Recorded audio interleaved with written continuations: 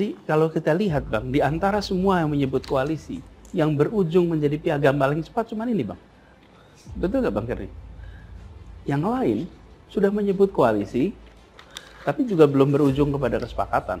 Koalisi perubahan yang usung Adis klaim persiapan lebih matang dibanding koalisi besar, Palo, dan koalisi perubahan aja masih pusing dan cakar-cakaran soal cawapres. Gini, kok bilangnya matang? Ngimpi. Ditulis oleh tim redaksi jurnal, dikutip dari berbagai sumber.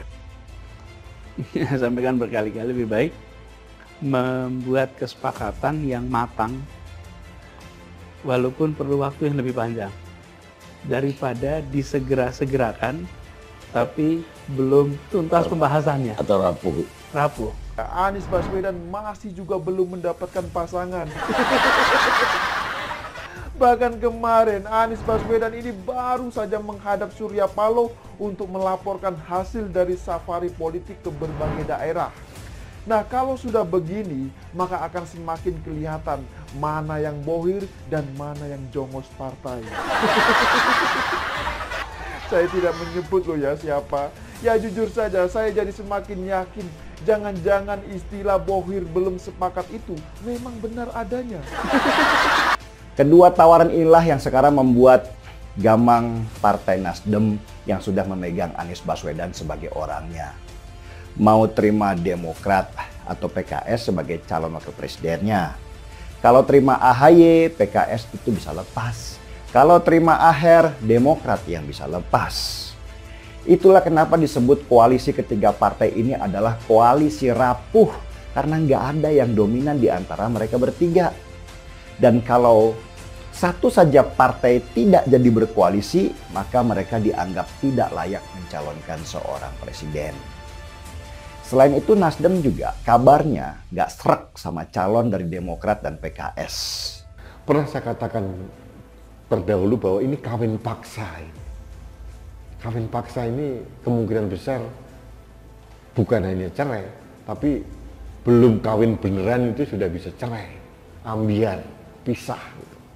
Koalisi Perubahan untuk Persatuan atau KPP klaim semakin solid di tengah wacana bergabungnya partai pendukung pemerintah dalam satu koalisi besar. Trio Nasdem, Demokrat, dan PKS yang telah mendeklarasikan Anies Baswedan sebagai capres memposisikan diri menjadi penonton drama koalisi besar. Jubir Anies, Hendri Satrio menilai koalisi besar tidak sebesar wacananya lantaran masih dalam posisi saling menunggu. Sementara KPP solidaritasnya terjaga, kendati komposisinya masih terdiri atas tiga partai. Hendri menilai koalisi besar belum terbentuk lantaran menunggu komando Jokowi. Alasannya, Ketumpan Zulkifli Hasan selaku salah satu penggagas sudah menyampaikan bahwa koalisi tersebut berada di bawah komando Jokowi. Sosok yang akrab disapa Hensat ini menjadikan pernyataan yang disampaikan Zula selepas menemui Ketum Gerindra Prabowo Subianto sebagai indikator terbentuk atau tidaknya koalisi besar. Dia pun bisa memaklumi mengapa koalisi besar sejauh ini masih masih berada pada level wacana. Alasannya selain masing-masing partai saling menunggu, Presiden Jokowi juga mesti mencermati sikap PDI Perjuangan yang sejauh ini belum memberikan sinyal mengenai koalisi dan pencapresan. Pada sisi lain, upaya membentuk koalisi besar di Tenggarai bakal menemui jalan buntu lantaran tidak ada kesepahaman siapa yang bakal diusung menjadi capres-cawapres. Artinya masih terbuka kemungkinan koalisi besar tidak terbentuk, tapi nyatanya tidak demikian. Meskipun koalisi perubahan mengklaim sedang solid dan kompak, tapi dilihat dari gelagat Surya Paloh tidak demikian. Memang Surya Paloh mengatakan bahwa Nasdem sebagai partai tak mau memaksa kehendak untuk mencari calon wakil presiden untuk Anies. Ia menilai Anies mampu mencari pendampingnya untuk maju di Pilpres 2024 mendatang. Tapi, saya tak yakin Surya Paloh memberi kewenangan penuh Anies Baswedan menentukan pilihan. Justru saat inilah Surya Paloh yang galau dan pusing tujuh keliling. Tak mungkin Surya Paloh yang memiliki latar belakang politisi dan pebisnis senior akan melepas posisi strategis calon wakil presiden tanpa adanya benefit apa pun.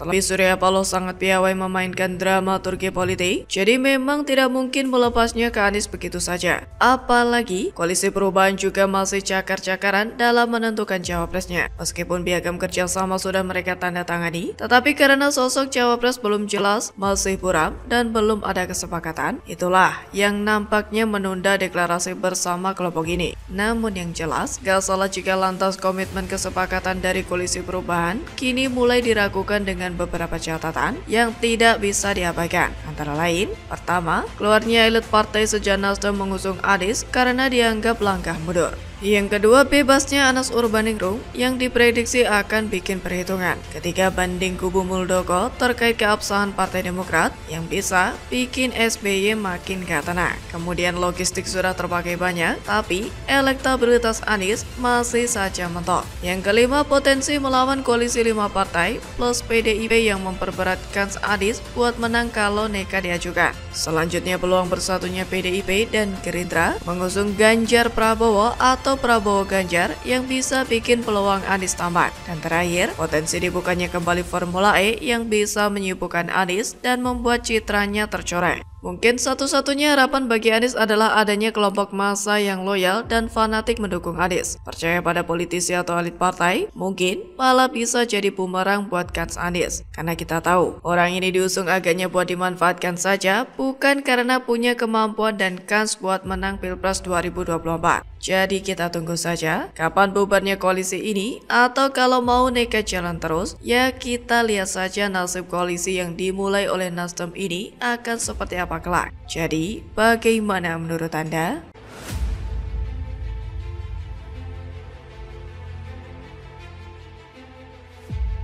Tanda Jokowi buang Surya Paloh semakin dianaktirikan gegara usung Aris Nyapres, langkah catur pembalasan Jokowi. Ditulis oleh tim redaksi jurnal dikutip dari berbagai sumber.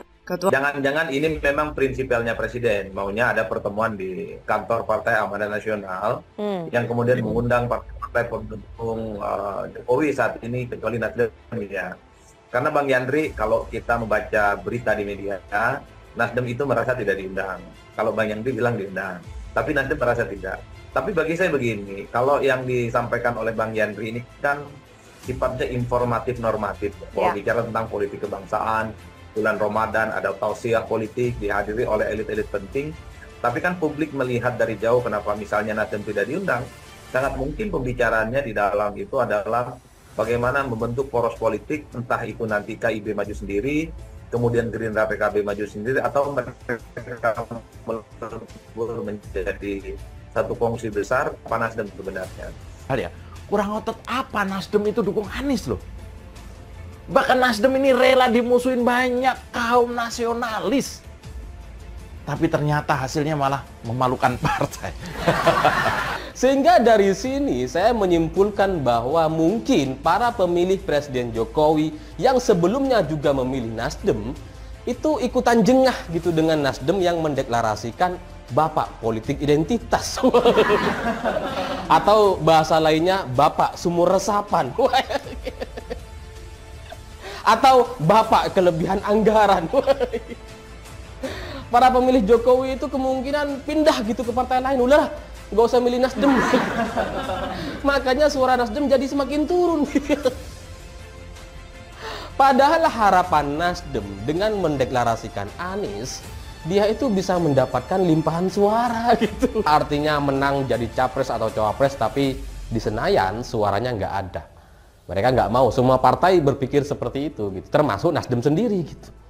Tapi e, salah langkah yang dilakukan oleh Nasdem ini yang mendeklarasikan Anies secara terburu-buru itu kemudian nampaknya memang harus e, dibayar mahal dan kemudian masyarakat akan menghukumnya gitu ke depan tahun 2024 nanti.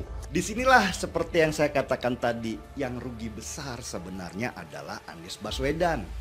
Dia sudah kadung terasosiasi sebagai calon dari Nasdem yang membuat banyak partai lainnya nggak bisa mendekati dia. Dengan hanya mengandalkan Nasdem, maka Anies bisa dibuang kapan saja saat Surya Paloh nggak membutuhkan. Misalnya nih, koalisi akhirnya setuju syarat-syarat yang diajukan Surya Paloh dengan sekian menteri kalau koalisi itu nanti menang. Anies itu bisa dibuang ke jalan. Demokrat sama PKS kalau mereka akhirnya gabung sama Nasdem bisa manyun berduaan karena ditinggalkan. Lagi mana? PKS nggak punya duit karena sudah lama jadi oposisi. Sedangkan Demokrat terkenal pelit buat keluarkan uang untuk kampanye. Masa semua harus Nasdem yang keluarkan? Berat, guys. Tanpa gabungan dari mereka, Nasdem, PKS, dan Demokrat, Anies itu bukan siapa-siapa. Dia nggak punya partai, dia tidak mengendalikan permainan. Benar bahwa dia hanyalah boneka saja dalam game besar ini yang hidupnya tergantung dari belas kasihan Nasdem sekarang.